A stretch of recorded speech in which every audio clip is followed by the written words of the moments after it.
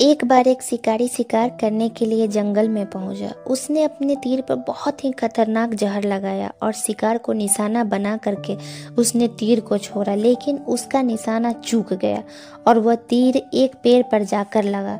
वह पेड़ बहुत ही सुंदर हरा भरा था और उस पेड़ पर बहुत सारे तोते रहते थे।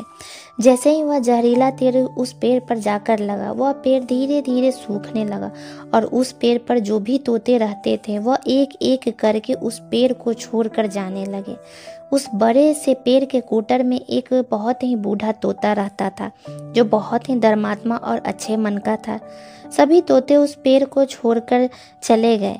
पर वह बूढ़ा तोता उसी पेड़ पर था। वह बूढ़ा तोता दाना लेने के लिए जाता था और दाना लेकर उसी कोटर में आकर बैठ जाता था। बूढ़े तोते के साथियों ने कई बार आकर उसे समझाया कि यह पेड़ सूख गया है, किसी न किसी दिन गिर जाएगा। चलो, किसी बड़े पेड़ पर चले कर रहा जाए। परंतु वह बूढ़ा तोता वहाँ से जाने के लिए तैयार ही नहीं हुआ।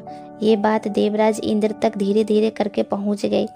उन्हें बताया गया कि एक तोता है, वह जिस पेड़ पर रहता है, उस पेड़ पर एक जहरीला तीर लगने के कारण सूखने, गिरने और ख़त्म होने के कगार पर है। और वह एक बूढ़ा तोता है, अभी भी वहीं पर रह रहा है, जबकि जंगल में और भी बहुत हरे भरे पेड़ हैं। देवराज इंद्र ने यह सारी बात सुनकर उस तोते से मिलने का मन बनाया और देवराज इंद्र उस तोते के सामने प्रकट हुए और उस तोते को बोले कि आप बहुत धर्मात्मा हैं, बहुत ही अच्छे मन के हैं, लेकिन आप इस पेड़ को छोड़कर किसी और पेड़ पर चले जाइए। तालाब के पास बहुत सारे बड़े बड़े पेड़ हैं और बड़े बड़े कोटर भी हैं। उन पेड़ों पर फल भी लगे हुए हैं, जिन्हें आप वहीं तोड़कर खा सकते हैं। तब वह तोता बोला कि, माफ़ कीजिए। इस पेड़ ने मुझे जन्म दिया है, शिकारियों से मेरी रक्षा की है। हर मौसम में मेरा साथ दिया है, यह कोटर मेरा घर है। यहाँ मैं पला बढ़ा, इस पेड़ को छोड़कर मैं भला कैसे जा सकता हूँ?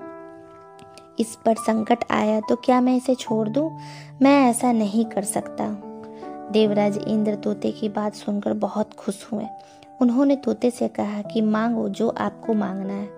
उस बूढ़े तोते ने कहा कि मुझे बस इतना मांगना है कि जिस पेड़ ने मुझे जन्म दिया है, जहाँ मैं पला बढ़ा हूँ, जिसे आप मेरी जन्म भूमि भी कह सकते हो।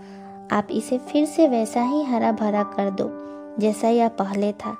देवराज इंद्र ने अमृत से उस पेड़ को सींच दिया और पहले की तरह हरा भरा कर दिए। अब वापस से सारे तोते आके उस पेड़ पर रहने लगे।